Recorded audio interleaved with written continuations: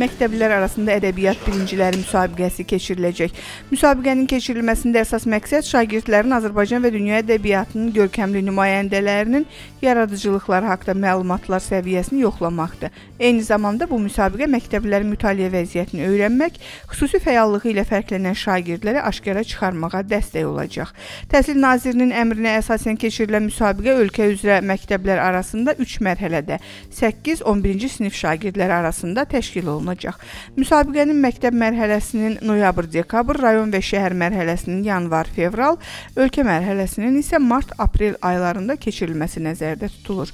Ədəbiyyat birinciləri müsabiqəsinin keçirilməsi qaydalarına əsasən məktəb mərhələsində şagirdlər tərtib olunan sorğu vərəqlərində oxuduqları əsərlər, onların müəllifləri, hər bir əsərin mövzusu, ideyası, tərbiyəvi əhəmiyyəti barədə müvafiq sualları yazılı cavablandırmalıdırlar. Müsabiqədə hər məktəbdən 3 şagird seçilərək növbəti mərhələyə keçmək hüququ qazanacaq. Müsabiqənin rayon şəhər mərhələsində tapşırıqların icrasına 3 saat vaxt ayrılır. Cavablar müvafiq meyarlar əsasında qiymətləndiriləcək. Müsabiqənin yekun turu Bakı şəhərində təşkil olunacaq.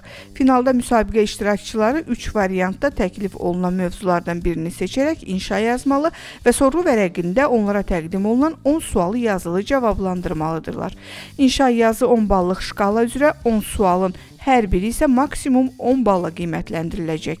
Hər bir iştirakçının yekun balı həmin iki tapşırığa verilən balların cəmi hesab olunacaq.